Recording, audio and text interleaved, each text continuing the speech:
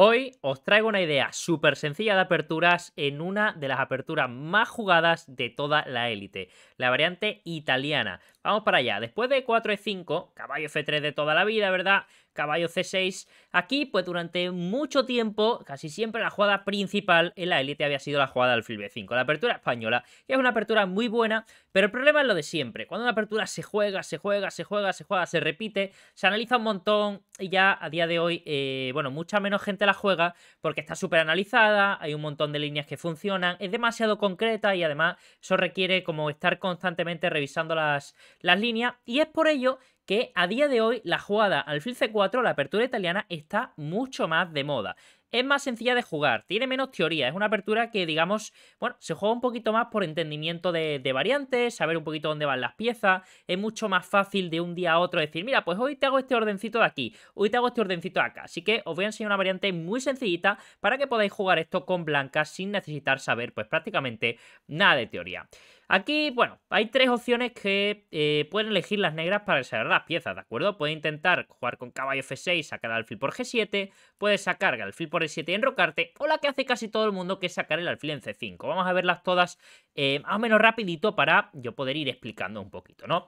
Caballo F6, una de las más eh, normales. Aquí existe caballo G5, pero es un lío. A mí no me gustan las cosas complicadas. Vamos a ir a una línea, como digo, sencillita. Tranquilamente vamos a hacer de 3. Defendemos el peoncito. Podemos ya sacar el alfil. Podemos sacar el caballito vía eh, de 2. No hacemos caballo F3 porque con esta jugada pues somos un poquito más eh, flexible. Empezamos con la primera de ellas, que nos juegan con alfil en E7. Alfil en E7 tiene, eh, bueno, tiene algún problemilla y alguna ventaja. Problemillas principales, es un poquito más pasiva, el alfil se encuentra en una situación más rocosa, no controla tantas casillas y ocupa una casilla que a veces es importante para que el caballo, digamos, se desarrolle o para que el negro no se quede ahí tan eh, atrapado. ¿Cómo vamos a jugar con blancas? Pues fijaos, muy sencillito. Nos vamos a enrocar, nuestro rival normalmente se va a enrocar, y vamos a hacer caballo C3. Me gusta el caballo C3 en esta posición porque al evitar D5, fuerzo que mi rival juegue con D6, y normalmente esto no es tan grave porque tienes el alfil fuera, pero como ahora tienes el alfil en E7, como que te quedas ahí un poquito apachurrado, ¿verdad?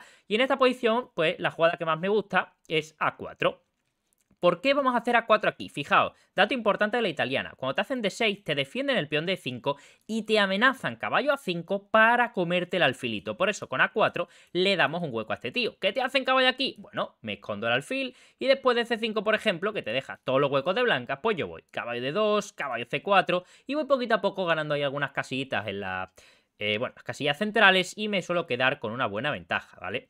Vamos a ir para atrás. Más posibilidades. Después de A4. ¿Cómo puede jugar el negro? Bueno, hay gente que dice, mira, pues te cambio tu alfil súper poderoso. ¿Qué pasa? Que cuando tu rival te hace esto, pues hay dos opciones. Para empezar, y a mí la que más me gusta es simplemente comer y jugar con un caballo Tienes ahí los peones ahí eh, un poquito doblado. Y en este caso, que va a ser bastante diferente al que veamos luego, al alfil, al estar colocado en E7, el negro realmente no tiene tanto contrajuego. Si el alfil estuviera 15-5, pues podríamos tener un poquito más de contrajuego contra F2. Pero aquí, llevas el caballito a C3, vas a jugar así, y realmente la posición es bastante cómoda, porque como os digo, el alfil en E7 es bastante pocho, bastante aburridillo, ¿vale? No, no te da buenas opciones ahí de jugar con contrajuego. Vamos a ir un poquito para atrás. Bueno, también caballo de 5 es interesante, pero es más compleja, así que prefiero incluso alfil por E6. A4, que te juegan de otra manera, que dice, bueno Miguel, pero es que me clavan aquí, me van a meter el caballo en D4 y me molesta mucho. No pasa nada, primero le preguntas un poquito a ese alfil, ¿qué haces? ¿Qué quieres hacer? ¿Que te comen? Bueno, comete dama, te vuelves, tienes pareja alfile, eres feliz y no has necesitado nada. Que se quitan, que mantienen la clavada. Bueno, te amenazan caballo de 4 para aprovechar esa clavada. ¿Qué hacemos? Lo evitamos rápidamente. Alfile 3, tranquilamente. ¿Qué te hacen caballo de 4? Bueno, te lo comes. Y este tipo de posiciones suele ser muy cómoda para el blanco. ¿Por qué? Porque se crea que una especie de mayoría que nos da un poco de espacio. Este peón queda un poco débil y en general las casillas blancas suelen quedar ahí eh, bastante débiles, ¿de acuerdo? Hay muchas partidas aquí, Carvana la juega bastante incluso de negra, pero realmente los resultados de las blancas suelen ser muy, muy, muy buenos. Vamos a ir un poquito para atrás. A4. ¿Cómo más puede jugar aquí el negro? Pues realmente eh, no hay mucho más. Son las líneas un poco principales. Que te hagan alfil 6, le doblas peones, llevas caballito a G3, ventajita cómoda. Que te hagan caballo a 5 para atacarte al alfil, te escondes el alfil, que para eso le has dado el hueco. Y lo demás, pues lo acabamos eh, de explicar. Así que alfil 7, como digo, pasiva y no es una línea que realmente lleve a cosas muy complejas. H6. H6 es una idea interesante, es una idea que se puso muy de moda y de hecho incluso puede que algún día haga un vídeo para las negras. La idea, fijaos, quieres controlar G5. ¿Por qué? Para que no haya caballo G5. Entonces, el plan del negro va a ser muy tranquilamente, pues después de una jugada como A4, ellos quieren hacer D6, por eso, evitar caballo G5. Luego quieren hacer G6, alfil G7 y enroque. Y montar ahí un fiancheto bastante, bueno, interesante, manteniendo piezas, manteniendo muchas opciones. Y suele dar lugar a partidas bastante, bastante combativas. El esquemita de piezas para el blanco aquí, muy sencillo, ¿de acuerdo? Vamos a sacar el caballito a C3, en este caso sí. Eh, nos hacen G6, hacemos enroque, alfil G7 y tranquilamente con A5 eh, ganamos un poco de espacio. En general me gusta el caballito en C3 siempre que el alfil no está en C5, porque siento que forzando a mi rival a tener el peón en D6, como que luego se queda ahí un poquito apachurrado. Como digo, A5, ganamos ahí un poquito de espacio, tu rival seguramente se enrocará, y bueno, tranquilamente puedes hacer H3, evitando líneas como como alfil G4, la clavadita, y bueno, y sigues torre 1, caballo D5 en algún momento, buscarás un C3, una ruptura central, y posiciones bastante cómodas, ¿de acuerdo? No hay demasiado lío en esta línea más posibilidades de 3. ¿Qué pasa si nos hacen, por ejemplo, alfil C5? Pues alfil C5 ya os digo que es la que más os van a hacer, ya sea en este orden o muchas veces eh, vais a hacer alfil C4, os van a hacer alfil C5 primero, vosotros igualmente vais a hacer D3 y igualmente nos van a hacer caballo F6, ¿de acuerdo? Esta es una de las líneas eh, realmente a las que más se llega cuando jugamos la italiana. Y aquí viene la ideita que digamos es la clave un poco de este vídeo porque creo que, como digo, esta es la posición a la cual vais a llegar más en vuestras partidas. ¿Cómo lo vais a hacer? Pues fijaos, una edita bastante nueva, no se hace mucho en este orden y es alfil 3. Con alfil 3 sacamos toda la teoría de golpe de la partida, hay muy pocas, muy muy muy pocas, se ha empezado a jugar muy recientemente algunas partidas de algunos jugadores españoles como Jaime Santos, como Iván Salgado, que la han hecho eh, muy recientemente, como digo.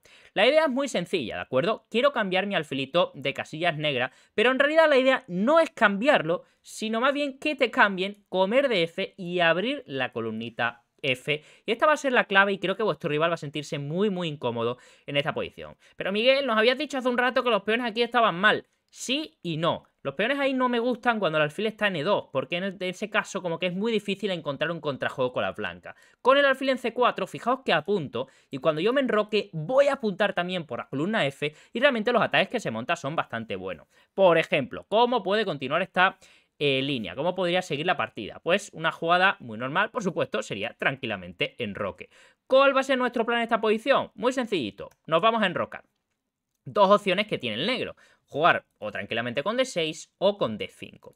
Si te dicen que te juegan con E5, realmente no me molesta nada porque tenemos un peón central más, tenemos jugar con caballo de 2, el alfil está bastante sólido, en cualquier momento podemos meter un E4 y abrir y en general es una posición, como digo, muy cómoda. Caballito, buscar E4, la dama en G3, muy facilito eh, de jugar. La mayoría de gente os va a jugar con D6, ¿de acuerdo? La mayoría de gente os va a jugar con D6 y como siempre, D6 sinónimo de defender peón, sinónimo de que yo tengo que hacer A4, ¿vale? Si vosotros jugáis aquí otra, por ejemplo, pues no sé, dama E1, bueno, dama E1 justo caballo A5, pero digamos caballo C3, pues os van a hacer caballo A5 y os van a comer el alfil y no queréis eso, porque vuestro alfil es la pieza, una de las piezas principales que tienen que apuntar contra ese tío de ahí, ¿vale? Entonces, A4. Y aquí de nuevo se abren, eh, bueno, dos vertientes de jugadas con las cuales puede intentar jugar el negro, que básicamente son cambiar este tío aquí o no cambiarlo. ¿Que no lo cambian? Pues no os preocupéis, vuestro juego es súper sencillo. Por ejemplo, H6 sea normal para evitar los saltos del caballito y aquí tranquilamente seguís. Caballo de 2, torre 8 y vuestro plan es así. Caballo H4, apuntas por aquí, viene la dama, viene el caballo, un juego súper, súper sencillo. Este estilo de posición es súper agradable y muy fácil de jugar. Entonces, a mí personalmente no me preocupa mucho. Hay otra gente que dice, mira, pues te llevo el caballo aquí, que es lo que explicamos en la otra posición con el alfil cuando se encontraba pasivo. ¿Cómo hacemos? Muy sencillito de nuevo, ¿vale? sacamos el caballito, en este caso por C3, te van a jugar con caballo G6 y tú tranquilamente juegas a 5. Has completado el desarrollo, este caballo está aquí que tampoco tiene unos grandes saltos y con esta ventajita de espacio pues poco a poco vas a ir molestando, incluso con un B4, con un dama y 1 dama G3, llevando un poquito las piezas por los dos lados del tablero y una posición en general bastante, bastante eh, agradable, ¿de acuerdo? Y para terminar, como os digo, si os hacen alfiles 6, si os intentan ahí cambiar los alfilillos, ¿cómo vais a hacer? Pues vais a comer, vais a comer, como van comer de peón, y vais a sacar el caballo aquí. Pero Miguel, esto es muy aburrido, la posición es igual. No es igual y de hecho está muy lejos de ser igual. ¿Por qué? Por estos caballos de aquí. Fijaos, la clave de esta posición va a ser que, bueno, vais a jugar con un C3, por ejemplo, imaginaos que el negro hace una jugada normal, como dama E7, vais a jugar con C3. Entonces, idea de C3.